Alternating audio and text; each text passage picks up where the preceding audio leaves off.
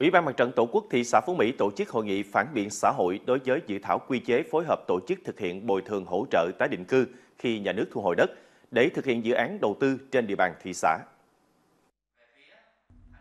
Dự thảo quy chế gồm 3 chương, 14 điều, quy định trách nhiệm giữa các phòng ban đơn vị trực thuộc Ủy ban nhân dân thị xã Phú Mỹ, Ủy ban nhân dân các xã phường và các tổ chức cá nhân có liên quan trong công tác phối hợp tổ chức thực hiện bồi thường, hỗ trợ tái định cư khi nhà nước thu hồi đất để thực hiện dự án đầu tư trên địa bàn thị xã. Phần lớn ý kiến phản biện tại hội nghị đề xuất bỏ cụm từ người bị thu hồi đất, điều chỉnh bổ sung một số nguyên tắc phối hợp giữa các cơ quan đơn vị liên quan điều chỉnh bổ sung trách nhiệm của chủ đầu tư dự án, của Ủy ban nhân dân xã phường và các thành viên hội đồng bồi thường hỗ trợ tái định cư thị xã. Lãnh đạo Ủy ban nhân dân thị xã ghi nhận, tiếp thu các nội dung ý kiến phản biện, đồng thời cho biết sẽ chỉ đạo cơ quan chuyên môn ra soát, bổ sung hoàn thiện quy chế.